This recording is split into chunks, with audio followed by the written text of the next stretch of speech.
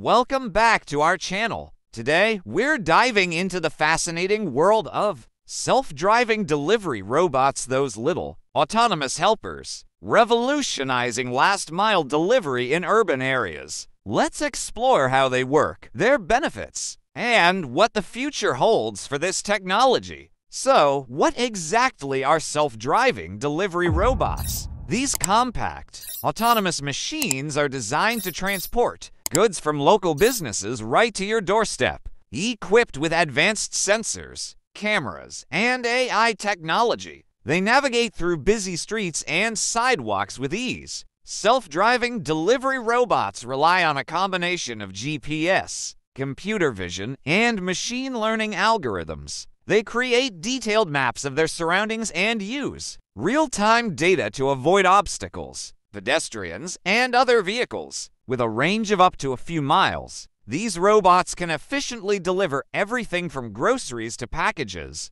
But why are cities turning to these robots for last mile delivery? Let's break down some key benefits. First up, convenience. With delivery robots, you can receive your orders right at your door without waiting for a human driver. Next, reduce traffic congestion. These robots can help minimize the number of delivery trucks on the road, leading to cleaner air and less congestion. And let's not forget about efficiency. Operating around the clock, these robots can make deliveries faster than traditional methods rain or shine. Cities across the globe are already seeing the impact of these robots. Companies like Starship Technologies and Nuro are leading the charge, partnering with local businesses to deliver food, groceries, and packages. Imagine ordering a pizza and having it arrive at your door within minutes without a single human driver in sight. Of course, it's not all smooth sailing.